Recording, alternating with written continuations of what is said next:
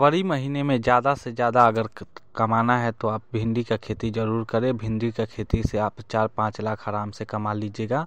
और भिंडी ऐसा है, एक फ़सल जो सौ रुपये, डेढ़ सौ रुपये के जी के हिसाब से जब फरवरी का महीना खूब पीक पे जाएगा मतलब मार्च का महीना आने लगेगा तो सौ, डेढ़ सौ के हिसाब से बिकने लगेगा।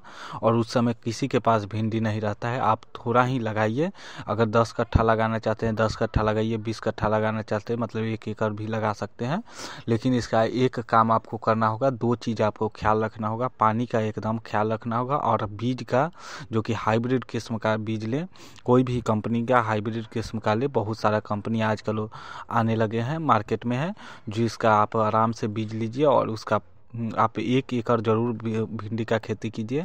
नहीं एक एकड़ तो पाँच कट्ठा, वहाँ पानी का सुविधा होना चाहिए, ये आप ज़रूर करें, क्योंकि ग्रीष्मकाली भिंडी का बुआई पंद्रह से बीस सेंटीमीटर दूरी पे रखना चाहिए, कतार से कतार की दूरी।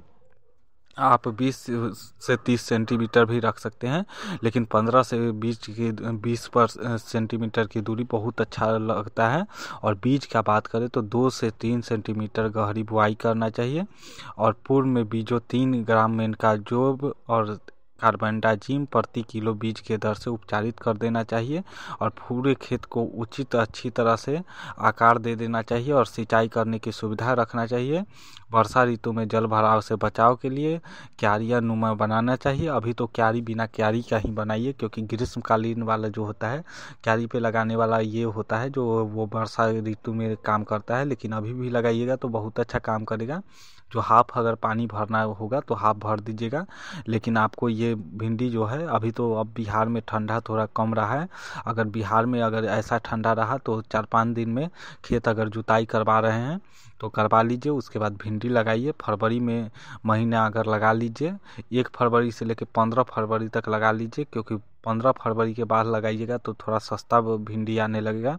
जो जनवरी वाले लगाने रहेंगे, उन्हें फ़ायदा मिल जाएगा। और सिंचाई की बात करें तो दस से बारह दिन पे मार्च में सिंचाई करना होगा और सात से आठ दिन में अप्रैल में करना होगा। और इसका एक प्लांट से दूसरे प्लांट की दूरी तीन से चार सेंटीमीटर रखें, वो हम इसलिए कह रहे हैं तीन से चार सेंटीमीटर रखें, अगर हाइब्रिड बीज भी लगा रहे हैं, जो तीन से चार सेंटीमीटर में ये होगा थोड़ा थोड़ा जगह रहेगा तो उसे, ये उसके पत्ता से छाया बना रहेगा, और छाया बना रहेगा तो वाष्पित तो नहीं होगा पानी, और जिससे आपका प्लांट बहुत अच्छा रहेगा, और 10 से 12 किलोग्राम प्रति हेक्टेयर के दर से बीज लगता है तो आप एक तरह से समझिए, पाँच किलोग्राम प्रति एकड़ के हिसाब से बीज लगेगा, संकर किस्म का बीज है तो आपको दो तीन के लगेगा, दो तीन के में आराम से हो जाता है इसलिए तीन के जी हम कह रहे हैं संकर किस्म का, यही लेकिन एकड़ में आप, हम बता रहे हैं, हेक्टेयर में तो पाँच किलोग्राम प्रति हेक्टेयर के दर से संकर किस्म का लोग लगाते हैं, लेकिन थोड़ा इसलिए ज़्यादा लगेगा शंकर किस्म का भी लीजिएगा, जैसे कोई कंपनी बी एन आर हो गया सिंजेंटा हो गया, नामधारी हो गया, और आपको बहुत सारा कंपनी आ गया है मार्केट में,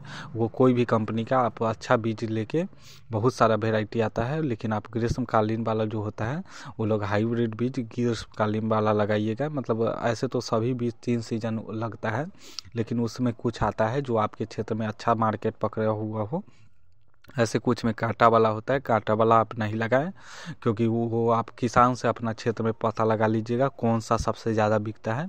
इस समय जो आता है बी एन आर वाला होता है छोटा छोटा जो आता है ये भिंडी वो वाला खूब अच्छा तरह से बिकता है।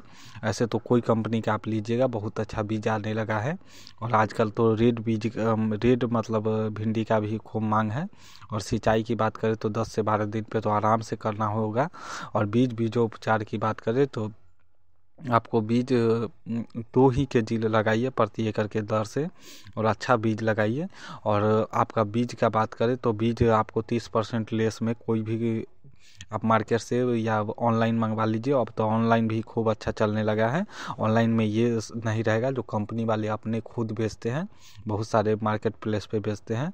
और ग्रीष्मकालीन भिंडी की बुआई कतार से कतार 25 से 30 सेंटीमीटर या 20 सेंटीमीटर रखिए और दो तीन सेंटीमीटर पेड़ से पेड़ की दूरी रखिए। पोषण प्रबंधन की बात करें तो बुआई से पूर्व अढ़ाई सौ से तीन सौ कुंटल सड़ा हुआ गोबर की खाद।